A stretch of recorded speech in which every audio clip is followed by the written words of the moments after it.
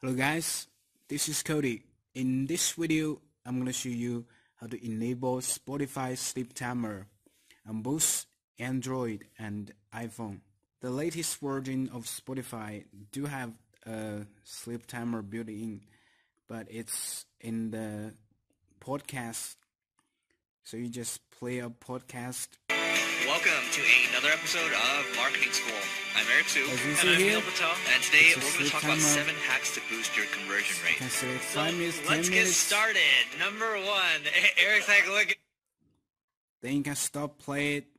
If you switch to listen to your music library, it also works. Just play it. After five minutes, it automatically stops. As you can see, the sleep timer is also available on your iOS device. It's just here, right here.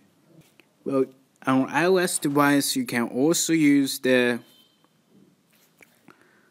while you play your favorite music, you can also use the built-in clock app. Just click, tap on it, and use tap on that when timer ends, and you select stop playing.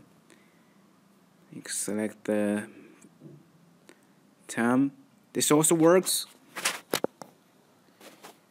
Also, I got a shortcut for you if you use Apple Music.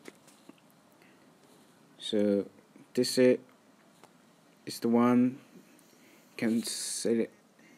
You can set to how many minutes you want to listen to music, and you can select a few songs. Set five minutes.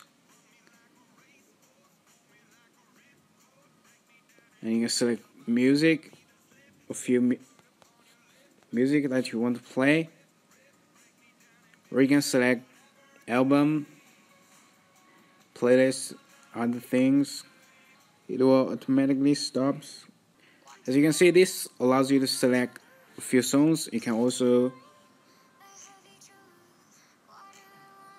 if you want to select a playlist just get this one get playlist and you change can select all your playlist that's all for this video. Hope you find it helpful.